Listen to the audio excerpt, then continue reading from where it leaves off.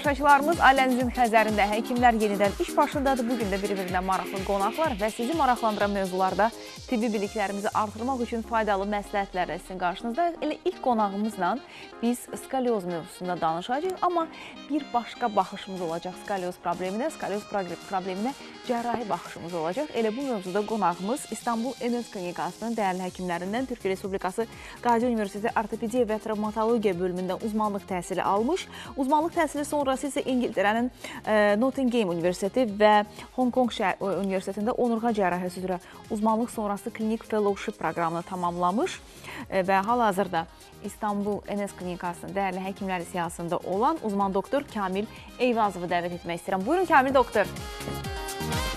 Salam, xoş gəlmisiniz. Necəsiniz? Sağ olun, siz necəsiniz? Sağ olun. Gəlin biz keçək. Siz gələndə mən sevinirəm çünki o qədər faydalı məlumatlar veririk tamaşaçılara və Təşəkkür edirəm. bütün yenilikləri dünya ilə eyni anda bizim tamaşaçılarımıza təqdim etmə imkanımız var. Ona görə sizə təşəkkür edirik və İstanbul Enes Klinikasında belə dəyərli həkimləri bir araya topladığı üçün biz skalyoz xəstəliyi haqqında əslində biraz danışmışdıq ötən verilişimizdə. E, mən istəyərdim biz e, Ümumiyyətlə iyun ayı bildiyim qədərlə skalyoz ayı kimi elan bəli, olunmuşdu. Bəli, bəli. Ümumiyyətlə e, skalyoz ayı nədir və e, kimlər tərəfindən nə üçün? Yəni bu məsələ bu qədər aktuallaşdırıldı. Əlbəttə, e, iyun ayı bütün dünyada skolyoz ayı olaraqdan dəyərləndirilir və ə, və qeyd edilir. Burada Hı -hı. məqsəd ə, bütün skolyozlu uşaqlara olan diqqəti artırmaqdır Hı -hı. və bu ailələri ə, dəstək olmaqdır. Bu ailələri məlumatlandırmaqdır və geniş kütləni dəyərləndir ə, məlumatlandırmaqdır ki, insanlar skolyozun bir sağlam xəstəlik olduğunu, pis bir xəstəlik olmadığını bir anlasınlar. Hı -hı. Skolyoz bu ayın qeyd edilməsi Skolyoz Research Society dediyimiz, yəni ki, bu bütün dünyada məşhur olan Amerika kökənli bir təşkilat tərəfindən bütün dünyada aktiv olaraqdan qeyd edilməkdədir və bu məqsədlə də müxtəlif aksiyalar keçirilir, müxtəlif məlumatlandırıcı yığıncaqlar, toplantılar keçirilir. Bunlar hamısı yenə qeyd etdiyimiz kimi bu məqsədləri güdməkdədir.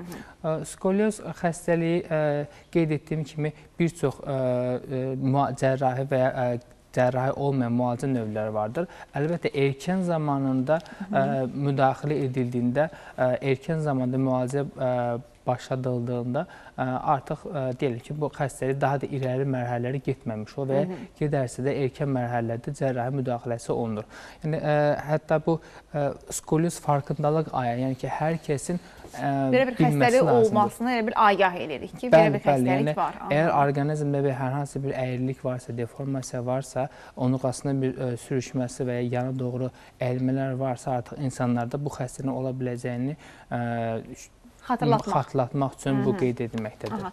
Ümumiyyətlə idman, korset yoxsa cərrahi müalicə hansı daha əlverişlidir? Yoxsa burada nəyə görəsə qərar verilirmi buna? Əslində biz bu hər üç müalicənin hər birindən istifadə eləyirik. Hı -hı. Yəni yüngül dərəcəli əyriliklərdə biz ə, insanlarda idman müalicəsi müşahidələr aparırıq. Əgər ə, artmağa meyllidirsə, ə, ki bunu biz artıq müayinə sonrasında özəlliklə də onurğa sütunun sümükləşməsi tamamlanmayıbsa və ya yüngül dərəcədə bir əyriliksə, bu zaman artıq biz korset müalicəsi verilə bilər. Hı -hı. Amma deyək ki, korset müalicəsi 15-16 yaşından sonra, özəlliklə idiopatik adolescent skolyozlarda 15-16 yaşından sonraki onurğanın ə, sümükləşmə prosesi tamamlanır.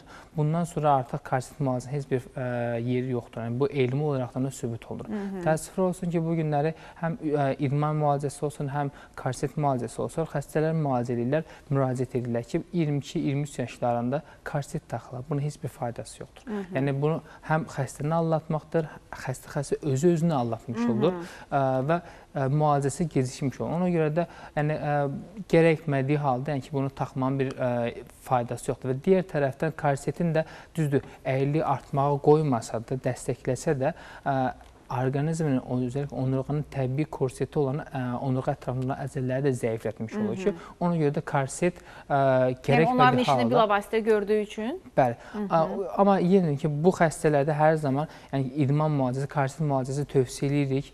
Biz də yəni ki, praktikamızda günlük olaraq geniş istifadə edirik, amma ə, cərrahi müdaxilə gərəkirsə cərrahi müdaxilə olması lazımdır. Hı -hı.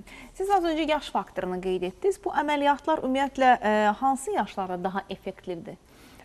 Belə deyək, biz bu xəstələrdə özəlliklə erkən yaşlarda deyim ki, bir artmağa meyllidirsə, idman və korset müalicəsində fayda görmürsə, hər yaşda ola bilər. Hı -hı. Genəldə biz bunu 6-7 yaşından sonraki orqanizm uşaqların ə, orqanizm məsələn anesteziyaya və ya bu müdaxiləyə tab gətirə bilsinlər. O zaman artıq biz bu xəstələrdə cərrahi müdaxilə, cərrahi müalicə tövsiyə edir. Amma deyim ki, bir aqressiv bir artması varsa, təbii ki, o da mümkündür. Hı -hı. Daha erkən yaşlarda oluna bilər.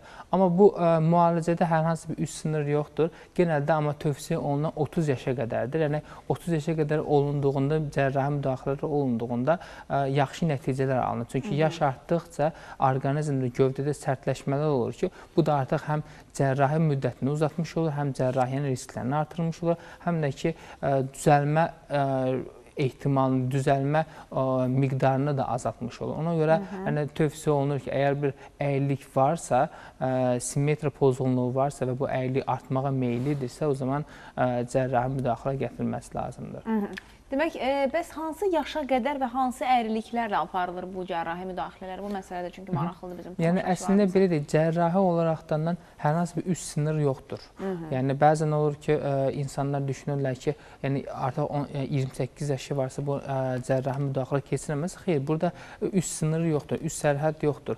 Ə, amma belə deyək yaş artdıqca xəstədə bəzən olur ki, yanaşı gedən problemlər də olur Hı -hı. Ə, və 35 yaşından sonra, 40 yaşından sonra bu insanlarda bəzən olur ki, tənəffüs problemləri ilə qarşılaşırıq ki, bu da ümumi anesteziya risklərini artırır. Yanaşı gedən ə, metabolik problemləri artırır. Ona görə yəni ə, diqqətli olaraqdan araşdırılaraqdan güvənli bir şəkildə ə, üst sınır yoxdur. Yəni ki, bu icra oluna bilər. Nəzərə alsaq ki, bəzi bugünkü mövzumuz aid olmasa, yəni ki, yaşlılarda da onurğada əyilmələr olur ki, degenerativ skolyoz xəstəlikləri. Onlarda da yəni, bu xəstələr bizim müraciət edəndə 60-65 yaşında, yəni onları da biz əməliyyat eləyirik. Yəni bunlar olunur, bunlar da mümkündür, yəni degenerativ xəstəliklər. Yəni ona görə ə, ə, skolyoz xəstələrində deforma deformasiyanın düzəldilmə ə, üçün üst sınır yoxdur. Hı -hı, aydındır, aydındır.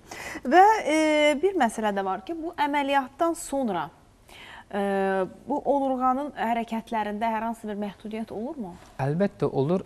Biz onurğa bir ə, sümük deyil, yəni ki, çoxlu fəqərələrdən bir-birinə birləşmiş, hərəkətli olaraq birləşmiş bir ə, orqandır və burada hərəkət mümkündür və bunun Hı -hı. nəticəsində insan öz gövdəsini sağa, sola doğru əyir, ə, önə, arxaya doğru və ya öz oxu ətrafında döndərə bilər, yəni 360 dərəcədə. Bu hərəkətlilik vardır. Yəni ən çox biz düşünsək də ki, sadəcə beldən bükülür, xeyr, yəni ki, həm Hı beldə vardır, həm döş nahiyəsində vardır, həm boyun. Sadəcə ə, çanaq nahiyəsindəki, yəni sakrum dediyimiz bu ə, sümüklərdə olma sümüklərində fərqli hərəkət yoxdur. Bu hərəkət hərəkətlik zamanı skolyoz zamanı, əy onurğadakı əyilmələr zamanı bu hərəkətlərdə təsir edir. Bu hərəkətlərdə də azalmalar olur. Apardığımız araşdırmalar da göstərmişdi ki, əyillik dərəcəsi artdıqca onurğadakı hərəkətlik də azalır. Hı -hı. Yəni nəzərə alsaq ki, onurğanın hər seqmentdə, hərəkət seqmentindəki fəqərlər bir-birinə paralel yerləşmişdir və bunlardakı oynaqların hərəkət oxu eyni vəziyyətdədir.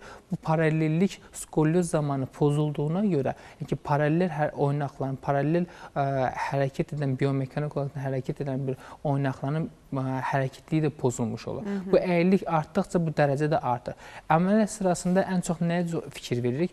Biz bu ə, əyillik sıra ə, əyilləri düzəldərkən xüsusilə də yəni ətraflı olaraq dəyərləndiririk. Minimal olaraq da nə qədər lazımdırsa, yəni çox ə, onurğanın fəqərlərini ə, implantasiya etmək əslində hərəkət məlumatını artırır. Hı -hı. Ona görə xüsusi ölçümlər aparırıq. Ondan sonra funksional rentgenlər çəkirik ki, ki biz bunu günlük ə, həkim ə, xəstə müayinəsində, xəstə dəyərləndirməsində aparmırıq. Sadəcə bunlara əməliyyat öncəsində aparırıq. Və bundan sonra ə, düzgün qərar verildikdən sonra artıq ə, cərrahi müdaxilələrə icra olunur. Hı -hı. Və ona görə yenə minimal olaraqdan onurğa implantasiyası edilərəkdən maksimal dərəcədə hərəkət hərəkətlilik ə, e, maksimal dərəcədə onurğa korreksiyası əldə edirik ki, bugünkü dünyada, müasir dünyada, praktikada zaten bunun üzərində gedir. Hı -hı, aydındır. Əziz tamaşaçılar, bir daha nəzərinizə çatdırım ki, qonağımız İstanbul Enes Klinikasının ə, ortoped travmatoloqu, onurğa cərrahı, uzman doktor Kamil Eyvazovdur. Kamil Eyvazov Türkiyənin ə, Qazi Universiteti ortopediya və travmatologiya bölümündən uzmanlıq təhsili almışdır və hal-hazırda İstanbul Enes Klinikasında çalışır. E, Kamil doktor, bir məsələ də maraqlıdır ki, bax deyək ki, bir skalyozlu xəstə sizə müraciət etdi. Burada əməliyyat planlaması necə aparılır? Əməliyyat dəyərləndirilməsi öncəliklə birinci olaraq da xəstələr ətraflı olaraq da müayinə edilir. Yanaşı gedən xəstəliklər varmı, yoxmu? Onlardan sonra artıq xəstələr rentgenləri ətraflı olaraq dəyərləndirilir, ölçülmələr aparılır. Məsəl üçün Burada ə, gördüyümüz kimi bir xəstəmizin rentgenləridir. Burada artıq biz ölçmələr aparırıq ki, Hı -hı. harda əyrilik başlayır, əyrilik harda qurtarır, hansı əyrilik birinci dərəcələdir, yəni həqiqi əyrilikdir, hansı əyrilik ikinci və ya kompensator əyrilik dediyimiz sonradan əmələ gələn bir əyrilikdir. Yəni nəzərə alsaq ki, onurğanın bir nahiyəsində əyrilik vardır, orqanizm özü özünü tarazlamaq üçün onurğada bəzən olur ki, ikincili əyriliklər də əmələ gətirir. Yox, əksi təqdirdə ki, bu əyrilik kompensasiya etmirsə, digər nahiyələrdə əyrilik olmasa, bu səfər əyrilik ola bilər. Amma bəzən də olur ki, iki fərqli əyrilik bir-birindən bağımsız olaraqdan, asılı olmayaraqdan inkişaf edir. Məsələn, bu xəstəmizdə gördüyümüz kimi, yəni ki, döş nahiyəsində və bel nahiyəsində əyriliklər var idi. Biz burada funksional rentgenlərini çəkdikdən sonra artıq hər iki əyriliyin də ayrı-ayrı, bir-birindən bağımsız bir əyrilik olduğunu gördük. Ona görə bu xəstələrdə yəni bu şəkildə qeyd etdim ki, ki buradan da gördüyümüz kimi tam onurğanı sabitləyərəkdən deyil, sadəcə onurğa əyriliyini fiks edirik. Burada məsəl üçün onurğada 3-cü bel fəqrəsində dayanmışıq ki, biz artıq orada 3 segmenti qoruduğumuza görə və döş nahiyəsində bir 6-7 hərəkət segmenti qoruduğumuza, yəni ki, ciddi bir hərəkət məhdudluğu olmur. Amma biz eyni zamanda da onurğa korreksiyasını təmin etmiş olduq. Hı -hı. Yəni bu bugünkü günümüzdə bu əməliyyatlar rahatlıqla da icra oluna bilər. Özəlliklə da, daha öncədən əgər bir qorxulu bir ə, şübhə var idisə, bu gün artıq əməliyyat öncəsində bəzən mən bu xəstələrə ə, ə, MRT, maqnit rezonans tomoqrafiya ilə dəyərləndiririk ki, onurğa kanalında sinirlərdə bir sıxılma varmı, yoxmu? Onurğa sinir beyində bir Hı -hı. sinirlərdə bir dəyişiklik varmı, yəni, yoxmu? Yəni əməliyyatın nəticəsini analiz etmək üçün. Əlbəttə, Hı -hı. yəni biz bu xəstələrdə daha öncədən ə, araşdırmalar apardıqdan sonra artıq biz təxmin edirik ki, burada risk nə qədərdir, risk çoxdur, yoxsa azmıdır. Artıq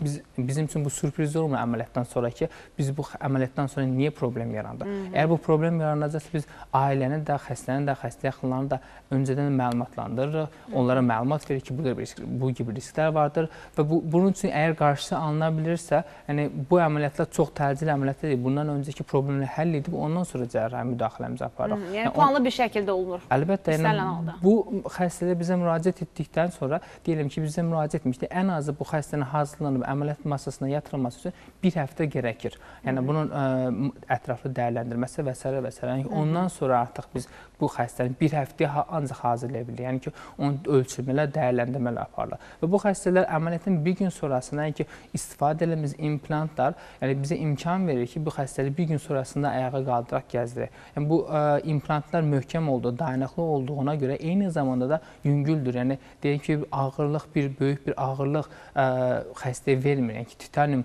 yüksək keyfiyyətli titanium implantlardan istifadə edilir ki, bu da ə, nəticələri yaxşılaşdırır. Bu bütün dünyada illərdir tətbiq olunur və ə, bu insanlarda yəni ə, bir ciddi problemlər yaratmadığı və bioloji olaraq reaksiya, allergik reaksiya və s. və s. kimi problem yaratmadığı görülmüşdür. Hı -hı, aydındır.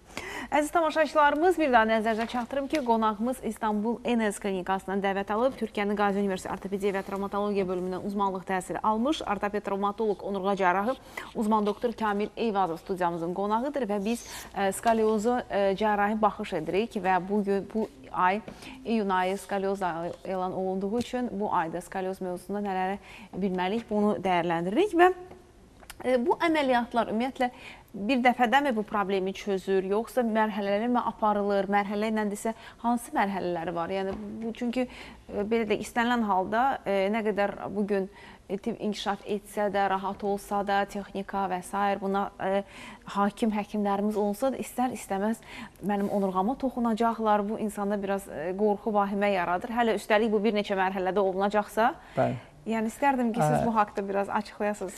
Əlbəttə, əv, öncədən daha öncədən ə, həm qeyd etdiyiniz kimi səhiyyədə digər sahələr, özəlliklə anesteziyada bir inkişaf, yəni ki, ciddi bir irəliləmə olmadığına Hı -hı. görə bu əməliyyatlar bir neçə mərhələdə aparılırdı. Hı -hı. Yəni deyək ki, bir ön tərəfdən və ya arxa tərəfdən gəlirdi. Onluğa da ki, o sərtliklər aradan qaldırıldı. Gevşetmək, release dediyimiz, yəni ki, bir ə, əməliyyatlı prosesləri aparılırdı. Daha sonrasında ikinci mərhələlərdə deyək ki, bu 3 saat, 4 saat çəkirdi. Sonrası ikinci mərhələdə, yəni bir neçə gün sonra sonrasında artıq ikinci bir e, implantasiya işləri aparıldı. Daha sonrasında inkişaf elədi. Bu yüngül korreksiyalar edildi. Hı -hı. Ondan sonra implantasiya oldu. Amma bugünkü günümüzdə özəlliklə də anesteziyadakı həqiqətən yəni ki, biz bu əməliyyatları edərkən yəni bizim bir güclü anesteziya yəni ki, ekibi komandasında olması lazım. Əgər sizin bir ə, əməliyyatxananızda yaxşı bir anestezioloqunuz yoxdursa, anesteziya anestezioloq köməkçiniz yoxdursa və ə, tibb bacısı olsun və ya personeliniz yoxdursa, bu əməliyyatlara eləməniz ə, biraz çətin və, ə, və mümkünsüz olur əslində. Çünki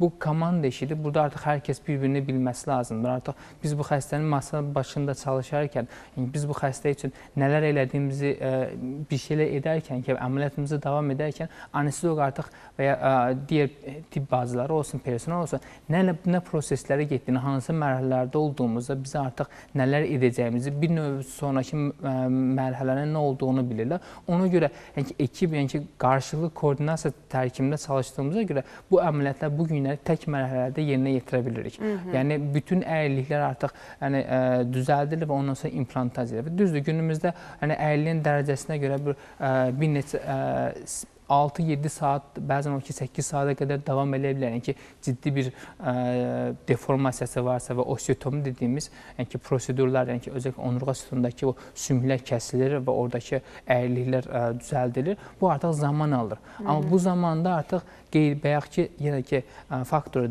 ə, təkrardan toxunmaq istəyirəm. Əgər ə, komanda yoxdursa, bu 7 saatlıq, 6 saatlıq müddətdə işlər nə isə bir yolundan çıxacaqdır. Hı -hı. O zaman artıq mərhələli olması lazım olurdu keçmişdə. Amma bu günlərə artıq tək mərhələdə bu mümkündür. Və nəzərə alsaq ki, yəni bu insanlarda həm ə, yanaşı gedən zəif bir orqanizm olur və ə, bu insanlarda həm də psixoloji bir travma olur bir əməliyyata getdik, təkrar əməliyyat, təkrar əməliyyat. Yəni, bu xəstə üçün də, xəstənin ailəsi üçün də bir ə, psixolojik travmadır və əziyyətdir və s. və s. Amma bu günləri tək mərhələdə bu günləri 100 ölçüb bir yəni 100 ə, ətraflı dəyərləndirmə sonrasında tək mərhələdə icra edilməsi mümkündür və bu günləri bütün dünyada zaten bu şəkildə olmaqdadır, icra edilməkdədir. Bəzən gərəkli hallarda oyandırma testləri və s. və s. kimi aparılır ki, bu da etibarlılığını, cərrahi texniklərin ə, inkişafı bizə ə, günümüzdə rahatlıqla bunları tamamlamağa imkan verirlər. Kamil doktor, bir məsələ də maraqlıdır ki, bax biz ekranda da görürük ki, burada implant qoyulur, belə başa düşdüm onurğaya. Bu implantlar uzun ömürlükdürmü, yoxsa müəyyən bir sürə sonra dəyişdirilməlidirmi? Yəni burada implantı bədəni ə, bədənin implantı yad cisim kimi qəbul edib bir ə, komplikasiyon o, yaratma riski varmı və s. istərdim ki, bir biraz da biraz da açaq bu mövzunu. Tamaşaçılarımıza maksimum məlumat çəkək sizdən.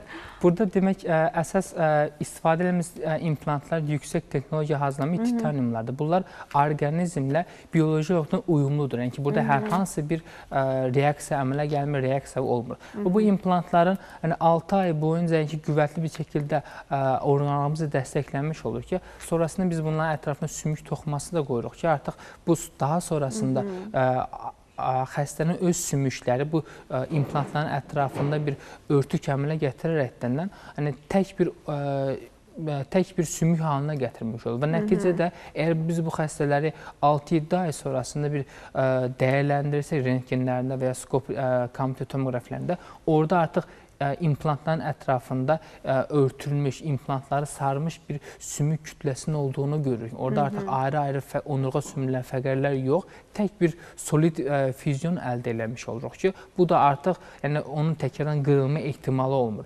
Deyirəm ki, bu düzgün olaraqdan implantlar yerləşdirilməzsə, orada bir dediyimiz bayaqlarda o qreftləmə işləri tamamlanmazsa, o zaman artıq orada bir ə, implant qırılması ola bilər. Hı -hı. Ki keçmişdə ə, bundan çox qarşılaşırdı. Bəzən olur ki, bizə xəstələr müraciət edirlər. Yəni 10 il bundan öncəsində ə, əməliyyat keçiriblər xarici ölkələr, özəlliklə Rusiya və İranda. Deyim ki, orada bir implantlarda bir ə, deyim ki, oradakı boşluqlar mı olsun və ya keçmiş implantlar olsun ki, o implantda bir yerdən sonra metal yorğunluğuna bağlılıqdan qırılmalar olur. Hı -hı. Amma deyim ki, biz bunu yəni ə, bu gün artıq bugünkü tibb, bugünkü elm, yəni artıq bizə ə, gələcək haqqında e, məlumat verdiyinə görə bu gün artıq biz yəni 3 il, 5 il sonrasında ola biləcək problemi bildiyimizə görə bu gün onun üçün tədbirlər görürük ki, onlarla qarşılaşmayaq. Yəni ona görə bu bunun üçün hər hansı bir narahat olmağa ehtiyac yoxdur, gərək yoxdur. Özəlliklə bu xəstələri 1 ay sonrasında e, deyək ki, bu əməliyyatdan 1 ay sonrasında normal vaxtında məktəbə getməsində e, məktəbə gedirlər və bu insanlar özəlliklə uşaqlar məktəblilər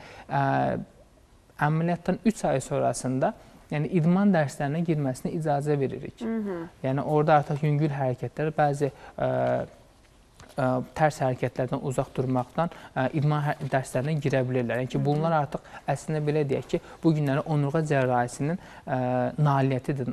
Onurğa cərrahisinin yəni belə deyək ki, başarılarıdır ki, bu günlər artıq biz bunu başarılı bir şəkildə günlük praktikamızda tətbiq edirik. Aydındır. Əziz tamaşaçılarımız bir daha nəzərinizə çatdırım ki, qonağımız İstanbul NS klinikasından dəvət almış ortoped travmatoloq, onurğa cərrahı uzman doktor Kamil Eyvazovdur. Kamil Eyvazov Türkiyə Respublikası Qazi Gazi Universiteti ortopediya və travmatologiya bölümündə uzmanlıq təhsili almışdır və uzmanlıq təhsili sonrası İngiltərənin e, Nottingham Universiteti və Hong Kong Universitetində onurğa cərrahisi üzrə uzmanlıq sonrası klinik fellowship proqramını tamamlayaraq Azərbaycana qayıtmış və hal-hazırda İstanbul NS klinikasında öz iş fəaliyyətini davam etdirir və siz e, biz birazdan Kamil doktordan verilişimizin sonuna doğru çıxışının sonuna doğru soruşacağıq ümumiyyətlə başqa hansı xəstəliklərlə ona müraciət etmək olar. Amma bu gün biz e, skoliozun cərrahi müalicəsinə baxırıq. E, Kamil doktor, deyək ki, bir xanım sizə müraciət etdi, problem var, əməliyyata göstəriş var, amma xanım hamiləlik planlaşdırır və s. E, burada necə olur yanaşma? Yəni bu əməliyyatlar hamiləlik sonrası mı aparılır, yoxsa bu əməliyyatdan sonra hamiləlik əks göstəriş deyilmi? Əslində belə deyək, əgər hamiləlik planlanırsa, yəni biz dəyərləndiririk. Əgər onurğasında bir əyrilik varsa, bu əyrilik artmağa meyllidirsə, yəni ki, əyriliyin dərəcəsi olsun, forması yerləşmiş şəkildə olsun və ə, bu zaman artıq ailəli ətraflı danışırıq. Çünki sizlər də bilirsiniz ki, hamiləlik müddətində bəzi hormonal dəyişikliklər gedir ki, bu da bağlar orqanizm öz-özünü təbii doğuşa hazırlayır. Bu müddət ərzində bağlarda elastiklik artır. Bu artmalar əyriliklərdə artmalara səbəb Hı -hı. ola bilər. Düzdür, hər zaman artmır. Yəni ə, amma artmalara səbəb ola bilər. Çünki bir xəstədə əmələ gəlir, bir xəstədə əmələ gəlmir. Bu düzdür, bu elmi tam olaraqdan şey olmasa, bəlli olmasa, amma bu risk olaraqdan ə, bu cür ə, ehtimallar var. Hı -hı. Amma bu xəstələrdə ən çox da özəlliklə də ə, bütün ailələrin ən sonda vurur, vurğulayaraqdan sorduqları ailə planlanmasıdır ki, Hı -hı. bu əməliyyatlar sonrasında hər hansı bir hamiləlik planlanmasında təbii doğuşa gedilməsində bir problem yoxdur. Hı -hı. Yəni əslində tam tərsinə ə, onluğadakı döş qəfəsində və qarın ə, bel bölgəsindəki deformasiyalar düzəldiyində gövdə özəlliklə daha da böyümüş olur. Və bu da hamiləliyin təbii olaraq da normal keçirilməsinə kömək edir. Hı -hı. Əgər qarın boşluğunun həcmi artırsa və ağciyər döş qəfəsinin həcmi artırsa, yəni bu hamiləlik müddətində, yəni ə, bildiyimiz kimi, yəni ki, normal olaraq da bu bu boşluqlardakı təzyiq də artmış olur ki, biz bu həcmi artırırıq və burdakı ə, normal olaraq da digər orqanların, bağırsaqlar olsun, mədə olsun, ağciyərlər olsun, bunların da normal inkişaf, normal fəaliyyətinə ə, şərait yaratmış olur. Ona görə tam tərsinə, yəni ki, hamilə əgər onurğada bir skolyoz varsa, yəni ə, yaxşı olardı ki, biz bunu müalicə olunsun, müalicə sonrasında onurğada bir ə, düzəlmə əmələ gəlsin və ondan sonrasında ə, hamiləlik ə, planlansın və hamiləlik ə, təbii doğuş keçirilsin. Yəni ki, bunlar hamısı əslində ə, bu xəstələrin xeyrinədir. Keçmişdə olan insanlarda ə, özəlliklə də belə deyək də ki, irəli dərəcə deformasiya olanlarda insanların sadəcə təbii ə, ailə qurulmasında da problem olur. Yəni ki, ə, insanlardan tədric olunurlar, insanlar ə, digər insanlardan çəkinmiş olurlar. Yəni bunlar hamısı əslində neqativ faktorlar idi. Hı -hı. Amma bugünkü durumda əslində bu əməliyyatlar sadəcə bir estetik əməliyyat deyil və ya ağrıya görə olan bir əməliyyat deyil. Biz bu əməliyyatlarla bu insanları təkrardan cəmiyyətə qaytarmış oluruq. Hı -hı. Yəni siz özünüz düşünün, onurğasında bir ə, 50 dərəcə, 60 dərəcə, 70 dərəcə olan bir əyriliyi olan bir xəstə, yəni hər kəsdən yəni, özünə qapanmış olur, insanlardan uzaq durmuş olur. Amma asosiallaşır. Bu, bəli, asosiallaşır. Yəni bu artıq Hı -hı. biz bu insanı, yəni ə, cəmiyyəti olaraq daha da bir əziyyət və yük kimi olur. Bu səfər bu insanlarda psixoloji problemlər də olur. Hı -hı. Bəzən olur ki, bu insanlar həqiqətən yəni düzdür, bugünkü skolyozdur. Yəni dünənlərə məsələn etdiyimiz bir ə, cərrahi müdaxilədə irəli dərəcədə bir kifozu var idi. Hı -hı. Ciddi bir yanaşı gedən problemlər var idi. Hər şeyə rəğmən mən əməliyyatı qəbul edirəm. Yəni ki, yanaşa gedən bu xəstədən xəstədən bunu duyduq 28 yaşında. Yəni ki, bunlar əslində bilirsiniz necədir? Yəni insanı biraz hər kəsə şok edən bir şeydir. Yəni biz bu əməliyyatları yəni biz əməliyyat edilmək üçün deyil, bu insanlara həqiqətən kömək eləyib də yəni bu geriyə qaytarmaq ailəsinə mi, cəmiyyətə mi? Yəni bunlar önəmli faktorlardır. Həyat keyfiyyətini artırırsınız. Əlbəttə, yəni ona görə bu ə, skolyoz ə, bu günləri, yəni ə, belə deyək ki, ə, cərrahi müdaxiləsindən qaçınılmaması gərəkən bir ə, xəstəlikdir. Yəni əgər lazımdırsa, özəlliklə də bəzən olur ki, xəstə gəlir, yəni ə, 30 dərəcəli, 25 dərəcə əyiliyi vardır və yaşı da artıq 25-30 yaşındadır ki, ə, ən son dərəcədə ailə bir ə, daxili psixoloji problemi var deyək bu xəstə müraciət etdi. Bu xəstələr cərrahi üçün gərəkmədiyi üçün ətraflı danışaraqdan əgər əməliyyat gərəkmirsə, ə, bu xəstələr əməliyyat eləmirik. Yəni Bunları bəs reabilitasiya yönəldir. reabilitasiyadır, ətraflı olaraq gərəkirsə psixoloqdur, bunlarla da ə, yönləndiririk, ətraflı danışırıq, fizioterapiya və s. və s. amma bu demək deyil ki, hər əyriliyi, əgər siz bədən quruluşunuzdan narazısınızsa, biz bunu əməliyyat edəcək, əməliyyat edib düzəltməmiz lazımdır hər yaşda. Xeyr. Yəni 30 yaşınız olsa da və ə, onluğunuzda bir 25 dərəcə, 30 dərəcə əyillik vardır və bu əyillik artmağa meylli əyillik deyil, Amma xəstə istəyir əyliyini düzəlsin, o zaman bu əməliyyat olunmamalıdır bu. Və bunu da eləmirik biz. Yəni ki, başqa yerlərdə bilmirəm, amma bizim mərkəzimizdə ən azından yəni, bu olunmur. protokol var, qayda, qanun var. Əlbəttə. Yəni götürüb öz başına da xəstə istirdiyi əməliyyat eləmək də düzgün deyil. Sadəcə Əlbəttə. izah etmək lazımdır ki, hansı hallarda necə. E, neçə dəqiqəmiz qaldı? Səhv etmirəmsə 1 dəqiqə vaxtımız qalıb. Mən istərdim bəlkə bir dəqiqə vaxtımız qalıb. Hansısa sualı eşitmədisinizsə, sizdə ən çox Yox, verilən yəni suallar siyahısında varsa, buyurun tamaşaçılarımıza son olaraq müraciətinizi eşidək və hansı xəstəliklərlə ümumiyyətlə e, Kamil Eyvazova müraciət edə bilərlər? Gəlin bunu deyək onlara istəyirsiniz.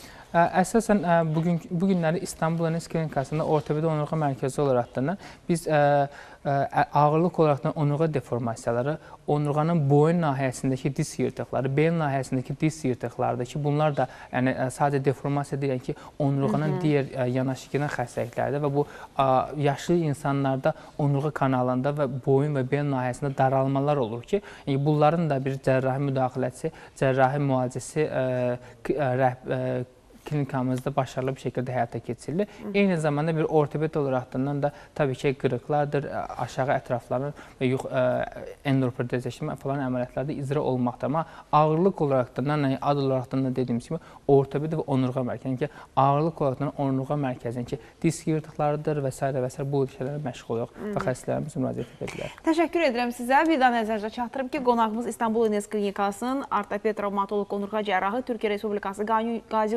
Universiteti ortopediya və travmatologiya bölümündən uzmanlıq təhsili almış uzman doktor Kamil Eyvazov idi. Təşəkkür edirəm Təşəkkür doktor. Minnətdaram sizə. Çox gözəl məncə çıxış etdiniz və hər şey belə aydın, belə deyək, puzzle-ın bütün e, elementlərini yığdıq bu gün. Minnətdaram sizə. Sağ olun, sağ olun. Görüşərik. Təşəkkürlər. Təşəkkür Pultunuzu da geri alın. E, və bu dəqiqələrdə istəyirəm təşəkkürümüzü bildirim. Mən də təşəkkürümüzü bildirim. Təşəkkürümüz isə təbii ki, verilişimiz başlayan gündən bizimlə bərabər olan Medex MMC-dir. Verilişimizdə göstərdiyi təşkilati dəstəyə görə e, tibbi kosmetoloji, laborator və sanator kurort avadanlıqlarının satışını, quraşdırılmasını və texniki servisini, o cümlədən tibbi sənət malzəmələrinin satışını həyata keçirən Medex MMC-yə verilişimizdə göstərdiyi təşkilati dəstəyə görə dərin təşəkkürümüzü bildiririk. Siz də tibb müəssisənizin keyfiyyətli xidmət göstərməsini istəyirsinizsə müraciət edirsiniz Medex MMC-yə və Keyfiyyət anlamı ilə eyni sinonim anlamında olan Medex MMC sizin də tibb müəssisənizi keyfiyyətli bir şəkildə avadanlıqla təmin edir və həmçinin e, təbii ki, bir nəsə lazım olanda da servisdə yüksək səviyyədə olduğu üçün yenidən əməkdaşlar sizin yanınızda olur.